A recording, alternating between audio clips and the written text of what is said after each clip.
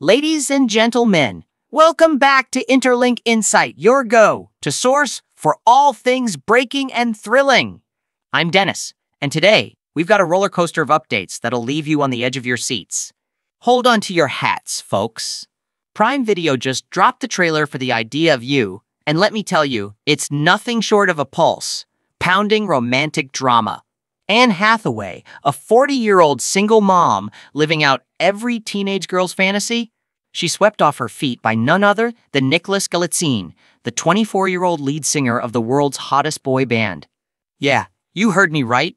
Backstage at Coachella, sparks fly and a steamy romance ignites.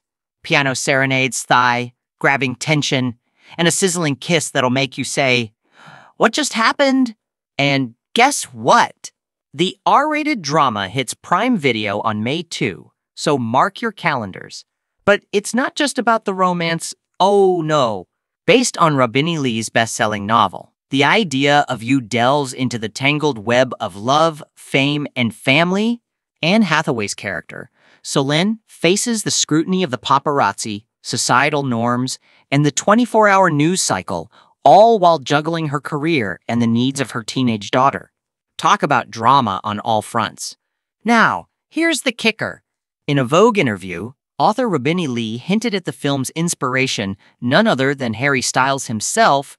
Styles' real life encounters with older women mirror the captivating scenes in the movie. It's almost like life imitating art or art imitating life either way. It's mind blowing.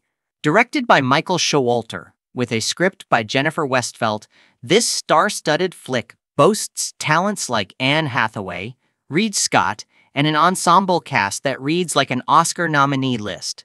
From the red carpet to the silver screen, this movie is set to be a cinematic masterpiece. Now, here's where you come in, dear audience. Like, comment, and subscribe for more thrilling updates.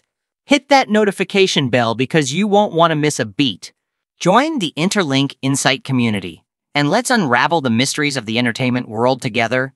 Until next time, this is Dennis signing off. Stay curious, stay informed, and stay hooked.